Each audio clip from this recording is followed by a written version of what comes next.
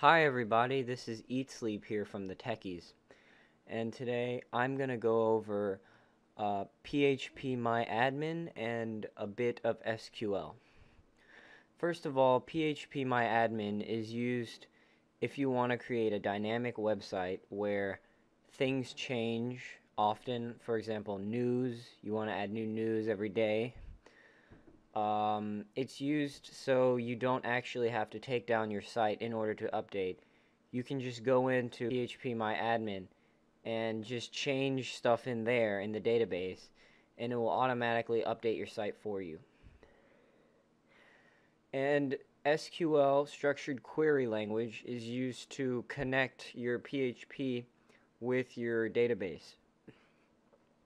So I'm going to start here, start up WAMP server, and I'm going to click on it, and we're going to open up PHP MyAdmin, the second one on your list.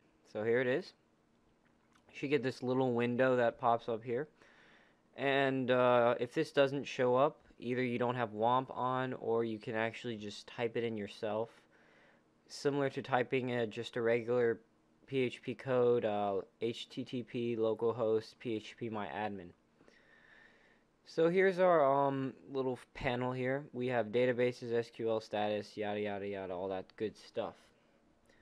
So if you want to create a new database which houses information, uh, it's right here on the front page. Um, MySQL localhost, create new database.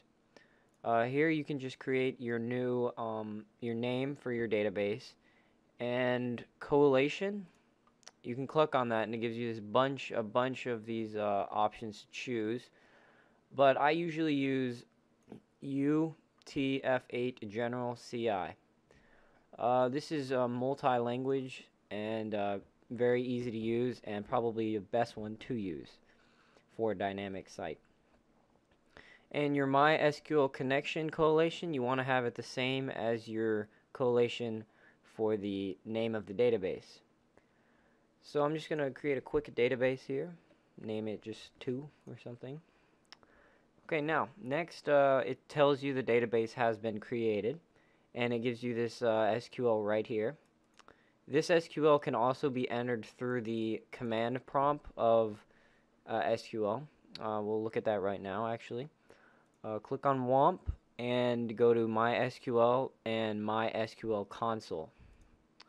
And you get this um, kind of command prompt come up. And if you've set a password, you can type your password in. I haven't, so I just uh, hit enter and it goes to thing. Now you know here it says, as you see, it says MySQL, and then gives you something to type. And now if you know the SQL language you can type that in but I don't know it too well so I just use PHP my admin because it's very simple.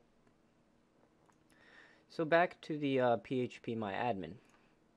Uh, after you've created your database you can create uh, a table name for it and uh, the number of fields. So um, I'm just going to name it 45. Number of fields, we'll do 5. And I'll just hit go. And uh, you'll get this screen with a bunch of values. If you have, if you set four tables, you should have four of these uh, rows here. If you have so on. So the first column is field. Now field is where you want to put the name of your specific thing that you're entering. For example, if you're going to do news, you might want to have date as your first one. Okay, so that's for name of the thing you're putting in. Your next one is type.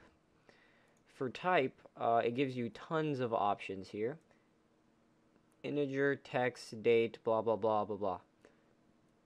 If you're doing a date, you obviously hit date. If you're doing a some kind of text like a title or something, you can hit uh, text.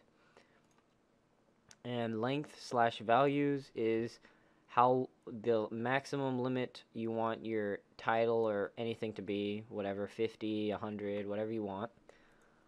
Um, default, really, you don't really need to mess with that right now.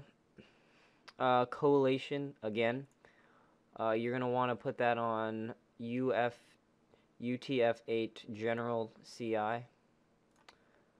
uh, for all of them. All of them need to be that. Um, attributes, uh, I don't really mess with that either. Null, um, not really sure what that does. And uh, index. For your index, if if this is the first value of your list, then you want to have it uh, primary. And these usually are all primary, not really index. So if you're doing something like that, you want to have it at primary. And um, down here, you can just uh, save this table or you can add more tables. Um, yeah, that's pretty much it on this. Thanks for watching. This has been Eat Sleep from the Techies.